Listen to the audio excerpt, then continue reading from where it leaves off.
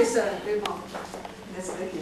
Não, essa é nossa filha. Tem Ah, capô. tá. e Mas outra é é a- outra filha. Porque ele tem é cinco filhos. Ah. Cada um cinco filhos. Cinco filhos, irmão? Cinco filhos. É, 15 netos. São duas mulheres? 15 netos? Sim, duas mulheres. Duas mulheres Não, são todas mulheres, mulheres menos três rapazes.